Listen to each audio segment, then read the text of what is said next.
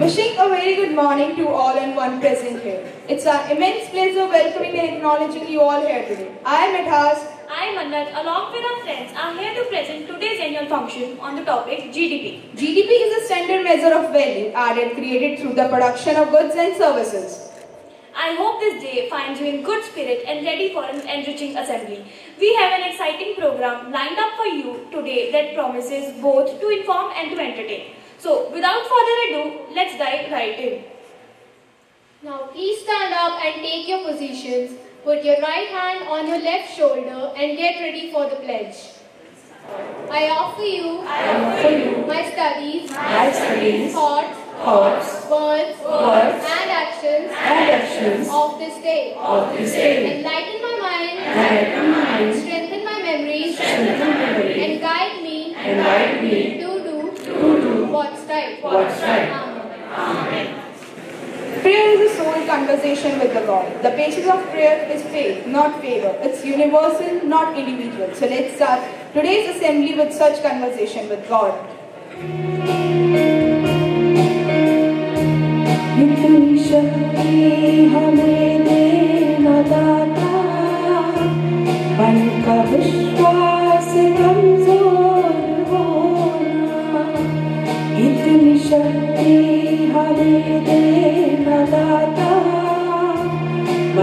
विश्वास कमजोर होना हम चले एक रास्ते भी हमसे भूल पर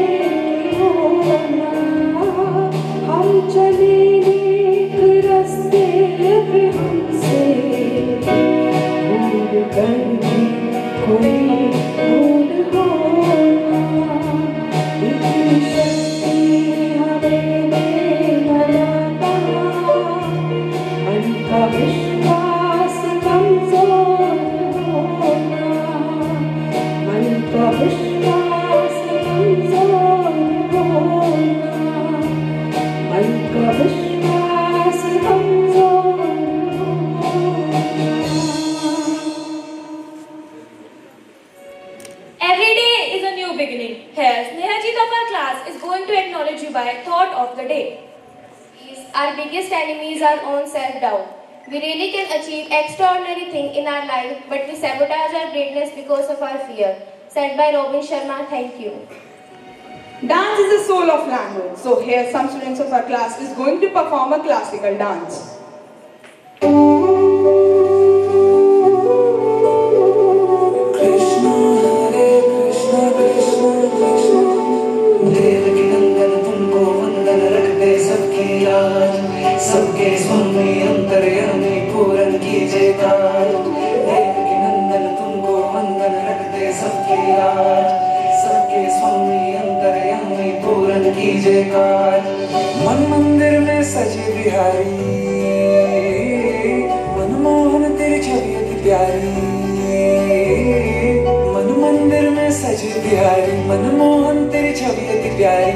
बंसी बजैया, रास रचैया तारन हार मेरे तुम ही के भैया तुमसे बड़ा कहा कौन कन्हैया? श्री कृष्ण गोविंद हरे मुरारे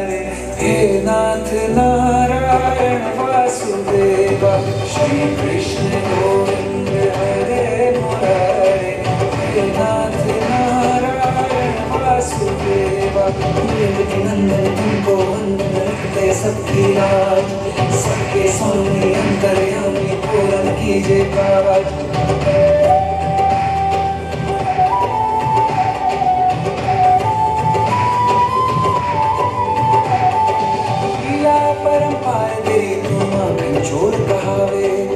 सागर से सबकी नैया दूरी पार लगावे।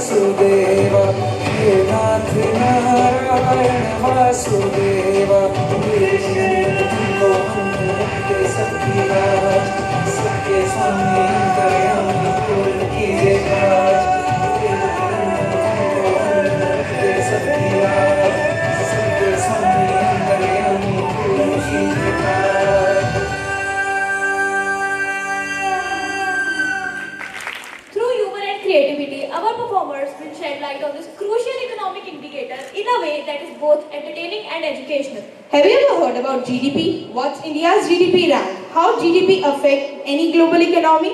Importance of GDP in Indian economy? So let's understand the importance and effects of GDP through a roundtable discussion. Economic growth. As overall GDP of a country increases, people generally have more money to spend on goods and services. This results in increasing access to healthcare, education, housing and other essentials. Higher GDP often leads to increasing taxes and revenues for the government, which can then be used to fund social programs and initiatives aimed at reducing poverty. Comparison and benchmarking. GDP data allows policymakers to compare their nation's economic size and growth rate with those of other countries. This helps them identify where their country excels or lacks in forming policy decisions and strategies for improvement. Policymakers can use this information to negotiate trade agreements that benefit their nation's industries and businesses. They use economic indicators to gauge the economic stability and prospects of potential partners or adversaries. Strong economies are often referred as more reliable allies in diplomacy. Investment and business confidence. A strong GDP figure signals a growing and healthy economy. This positive economic outlook can boost business confidence as companies are more likely to thrive in a growing market, leading to increased optimism among business leaders. When GDP is strong, companies are more confident about their revenue and their profit prospects, which encourages them to invest in expanding their operation and entering new markets. A robust GDP often correlates with higher consumer spending. When consumers are confident about their economy and their financial stability, they tend to spend more. Government policy. Using GDP as a sole measure of a national progress has several drawbacks, and it is important to recognize its limitation. A high GDP per capita has significant income inequality, leaving many citizens with limited access to economic, economic accessibilities and resources. G- a nation with high GDP might still have to face issues related to public health education.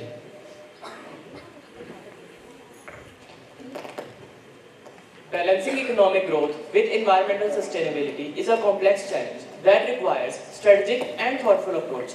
The concept of green GDP is one way to address this balance.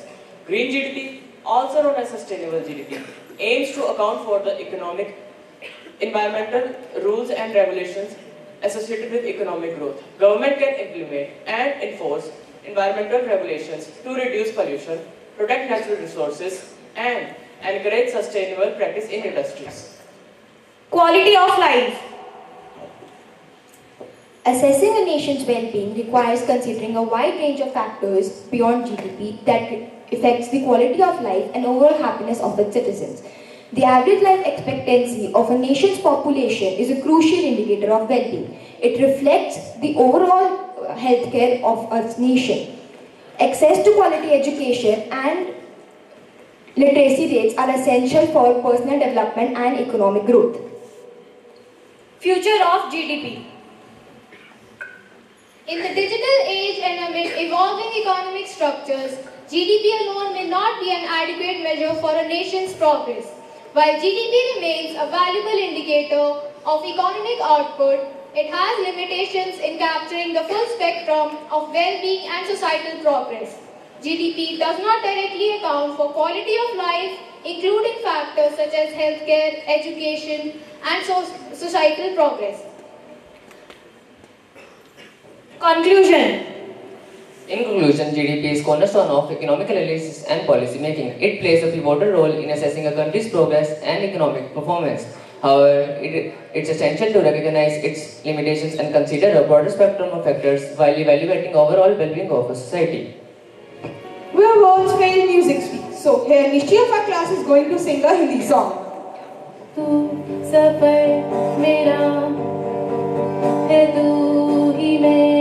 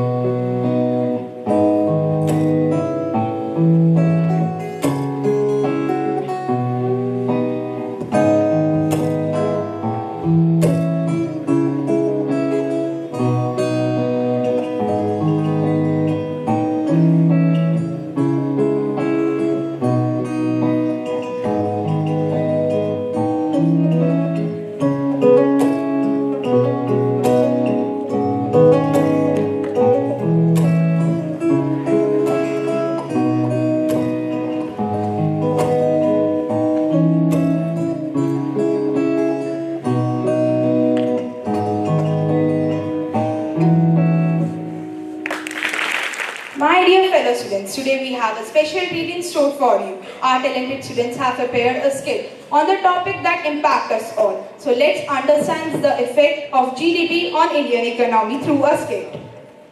Under British rule, India's GDP faced significant challenges. The economic drain caused by taxation, trade imbalances and resource exploitation hindered growth. Traditional industries suffered due to British competition. While some infrastructure like railways was introduced, it primarily served British interests. India's economy only started to recover and develop after gaining independence in 1947. In this skit, we aim to illustrate the subtle yet significant differences in GDP conditions before and after independence. Scene 1 Agricultural condition before 1947. Excuse me, Mr. Rajendra Singh. Our gracious British government has given you Zamindars quite a few advantages, but we are a bit puzzled here. It seems like you're having trouble paying us the lagan we agreed upon, even though you can collect it. Yes, sir, yes. We have had a tough year with no irrigation, and it's hard to meet the Lagan requirement, even if I cut my share. I don't care about that. Just give us the lagan we agreed upon, or you know what might happen to your land. You understand the gravity of the situation, I trust. Please, sir, please, don't take my land. I will find a way to get you amount you need. The authorities won't budge on the amount. If you can't pay it, you might face fines or work without any pay. Please, sir, have some mercy on us. The tillers find themselves caught in a challenging predicament. They are burdened with the task of paying the lagan, a land revenue, which becomes increasingly difficult due to unfavorable agricultural conditions, particularly low irrigation in that year. The tillers face the prospect of fines or forced labor if they fail to meet their financial obligations to the zamindar and the British authorities. The colonial system placed significant pressure on both Zamindar Rajendra Singh and the tillers, reflecting the inequities and hardships experienced under British rule in India. Scene 2 After Independence. Mr. Rajendra Singh, the ongoing reform of the land settlement system is a crucial step towards addressing the issue of excessive land holdings, thereby ensuring equitable land distribution. While we recognize the sudden changes are causing unease to us, Indeed, this may appear problematic, yet it represents lot of efforts to redress the historical injustices faced by the marginalized tillers. Our aim is to elevate their economic circumstances. We thankfully em- embrace the reforms, but practically concerns to surface in the absence of resources to cultivate the land. We are thinking how it will give benefit to us in long term, sir. There are challenges in reforming the land settlement system. This includes resistance from landowners, difficulties in identifying excessive land holdings, and the need for The plan faces administrative hurdles in implementing equitable land reforms and is encountering political opposition in some regions. Despite these challenges, this plan will lay the groundwork for future land reforms by marking its commitment to addressing historical injustices and achieving more equitable land distribution. It will serve as a valuable learning experience for subsequent land reform efforts. Scene 3 Handicraft before 1947 I plan to significantly reduce the, reduce the taxes on the goods exported from our nation. With the aid of advanced technology, the prices will remain remarkably low. While it is second time, this handicraft will be beautiful and deserve a vast customer base. The dream all you want, but take a good look around. Poverty is pervasive. Who will purchase a costly product when I can offer the similar item at a fraction of cost? Please consider buying this goods. I am just struggling to make my livelihood. My family depends on it, and without earning, I fear I might not survive. My friend, I really want to support your business, but my circumstances mirror yours. I find it challenging to purchasing your good at this price when I can acquire similar item for a more modest sum, beside my immediate basic need like food rather than decorative items. Be whatever you desire, but do not choose the path of an artisan like me, son. British rule in India had a profound impact on the indigenous handicraft industry. As British industrialization flourished, mass-produced goods from Britain flooded the Indian market. British policies favored the import of British manufactured products and heavy taxation and trade restrictions were imposed on Indian handicrafts. This economic transformation played a significant role in eroding India's once thriving handicraft sector, contributing to its decline under British rule. Scene 4 After Independence. I am committed to supporting your crafts. Subsidies will be provided to curb foreign competition, allowing your business to prosper. That's wonderful news, sir. Without reducing manufacturing costs, I can offer my goods at more affordable price while maintaining quality. My friend, now I can finally afford your good and my family circumstances have improved. While they may not be as affluent as they once were, we can still enjoy the product you create. British rule was a heavy blow to our craft, drowning it beneath foreign import, handmade certain struggled a lot to find a place in the market with heavy flooded goods. The erosion of our cultural heritage within our craft left us fighting to preserve traditions amidst adversity. Our once thriving artistry now bore the scars of British colonial influence. Scene 5 International Trade before 1947. This land teems with rich flora and fauna and boasting bountiful harvest.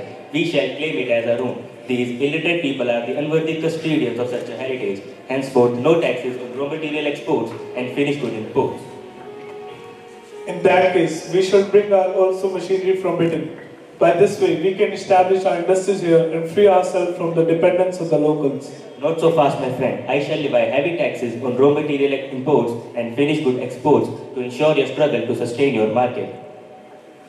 British policies prioritized the export of raw materials from India to feed British industries while imposing heavy tariffs and restrictions on Indian-made goods.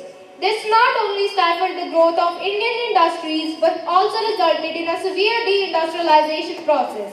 Millions of skilled people were pushed into poverty and India, once a global manufacturing powerhouse, became a net importer of finished goods, perpetuating economic dependency and underdevelopment. Scene 6 in 1991. I am in desperate need of funds. Our reserves are depleted and we are struggling to provide for our people. Please consider us lending some financial assistance to survive. We are reluctant, to trust-loving nation. Your ability to pay us is in doubt. I am willing to provide you loan, but there's a condition. What conditions are you proposing? You must undertake economic liberalization and globalization, which includes removing trade barriers. I created those barriers to protect our domestic industries from international competition and nurture their growth within our nation. I can't betray them, but I am left with no choice, so I had to remove those trade barriers. Okay then, we will provide you the financial support you require. The decision to remove trade barriers in India was indeed a crucial step toward fostering economic growth and global integration. By dismantling these barriers, India opened up its market to international competition, which not only incentivized domestic industries to become more efficient, but also allowed consumers to access a wider variety of goods at competitive prices. Overall, the decision to remove trade barriers was instrumental in driving India's economic transformation and positioning it as a major player on the world stage. Thank you. Poetry is when emotion finds its thought and thought finds its word. So here Supriya our class is going to recite an English poem. In the land of the rising sun, a new economy has begun. With clicks and code, we pave the way for an India that's here to stay. A digital world so vast and wide opens doors that once were denied to the people of our great nation, empowerment through innovation. From farmers to traders, all can thrive in this economy that's come alive. Through e-commerce and online cash, we bridge the gap and make a splash. In rural areas, hope is found through telemedicine on the ground. In cities, skills are upgraded fast through online education that's built to last. This is the India we envision, a land of equal opportunity and mission, where technology solves the people's needs and empowers us to plant our own seeds. So let us march towards the future with digital tools as our suture. For an empowered India, we shall see a land of prosperity for you and me. Thank you. Dance is a rhythmic conversation between body and soul. So here some students of our class are going to do such conversation with soul by a South Indian dance, dance style. Thank you.